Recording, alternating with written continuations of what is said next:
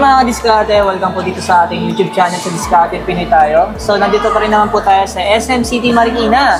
So sa nagre-request sa atin ng item mga diskarte, hinahanap talaga natin yung case store nila dito. Ano? Meron po ng case store dito ng item. So kasama natin si Sir Mark. And then tulad ng dati mga diskarte, pumayag naman siya. So binigay sa atin yung contact number niya. Kung may mga inquiry kayo, may mga tanong kayo, pwede po kayo mag-direct sa kanya. Di alamin lang naman natin mga diskarte yung mga available units, syempre installment. Kasi alam natin yung mga diskarte, pag di sa item, uh, minsan nagkakaubusan, lalo na yung S23 Plus, ano.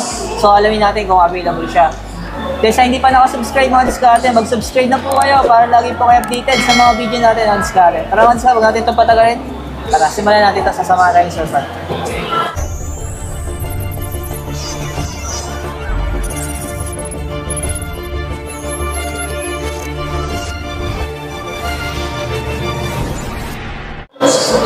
Simulan natin sir sa pinaka-latest natin. Oh, P55. Ah, ito yung 5G sir, no? Yes po. Oh. Pero sir, yung storage nito, ah, 128. 128 internal storage, 6 base giga RAM, Ah. may plus 6 extended.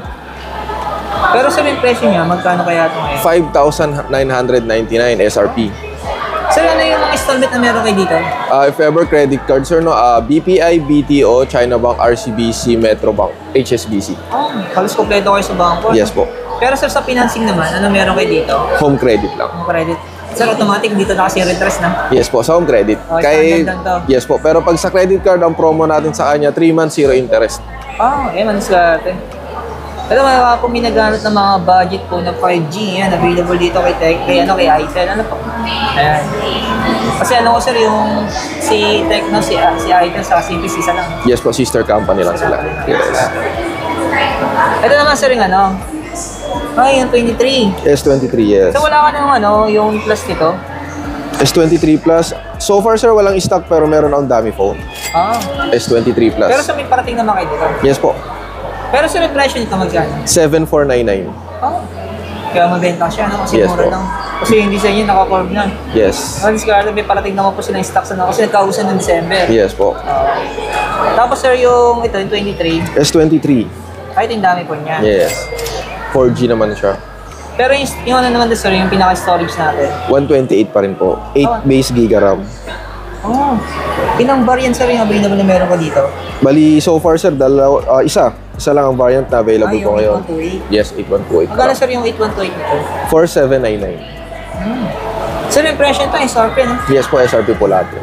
Ayun, mga discard pa sinabi po SRP, nationwide po yan, no? Kasi may nagtatanong sa akin, sir, ba't gano'n mas mahal dito? Ang 1,000. Kasi depende po yung sa dealer mga diskarte. Yes Mas maganda po mga diskarte. Tanungin niyo po kung SRP sila bago po kayo bumili. No? Kasi minsan kasi pag hindi po SRP, may patong talaga. Yan po. Kaya tinatanong natin. Ayan. Sunod naman natin, sir, yan, no? A70. Oh, ito. C4 plus 8, then Ay, ito 12. may dami po niyo, sir. 256 internal storage. Oh. Pero magkano sir yung presyo nito? 3999. Mas mura siya kay S23. Oh, pero yung RAM nito, Is, ah, hanggang 12 yung ano niya, maximum. Then 256 internal storage na. pero sir yung pinaka-regular RAM niya, 4. 4 po ang base. Oh, tapos may plus 8. Yes. Naging 12 gram.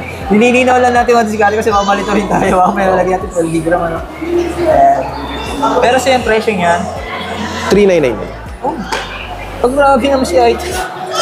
Pababa ng pababa, palaki ng palaki yung specs. Pababa yung diskali, madaming papatayin talaga ito ng mga brand, ano po. Kasi yung presyo niya budget na budget. Ano? Ayan, sa mga naghahanap po ng budget po, sa hindi nakabili ng December, habol kayo, mga diskarte, ano. Naman sir yung pad natin, pad 1. Bad one, si, ah, 4 GB RAM base, hindi na po siya extended, pero 128 internal storage siya. Ito sir yung nalalagyan ng SIM card, tama ba? Yes po, Pero 4G lang siya. 4G lang po. Pero magkano sa presyo niya? Ah, 5799. Ayan.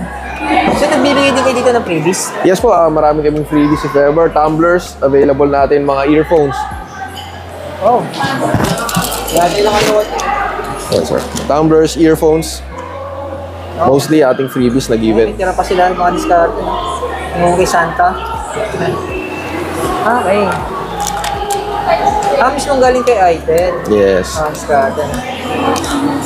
Mga discard, no, ito pong pinakita ni Sir, Sir Mark. Ito lang po yung mga units na available na meron sila. So, sa ngayon, kakunti pa lang talaga yung mga units na meron sila dito, no? Pero kung sakaling bibili po kayo ng mga charger, ng adapter, meron po dito. Ayan. Oo, halos 300 lang sir yung adapter natin, no? Yes po. Tapos yung may mga, ano, yung mga cable, ayan, ang discarte. Yung 17 inches lang po yan. Tapos yung mga earphone natin, ayan, sa 200 lang yung pwede yan, sa 150 yan po. Tapos yung buds, ayan, nasa mga 500 na ang discarte. Kita rin. Ayan, discarte, baka may gusto bumili ng mga buds din, ano? Ito. Merong 400, nasa 500, tapos meron nasa 799, nasa 800 sa ito. Depende sa model. Ayan, salamat po Sir Mark. Thank you. Thank you po. Thank you. Ate. So, pupunta to mga discarded sa SM SM Marikina, sa may Cyberzone, sa may baba. Hanapin niyo lang po yung Idol Care. Sana po? Ayan. You. kung may tanong naman po kayo yung pinaka-contact number ni Sir Mark, kaya lagyan na lang natin sa description ng sa screen, nakikita niyo na po sa intro natin. Sa rest, kung may tanong kayo, pwede pa nang sa amin.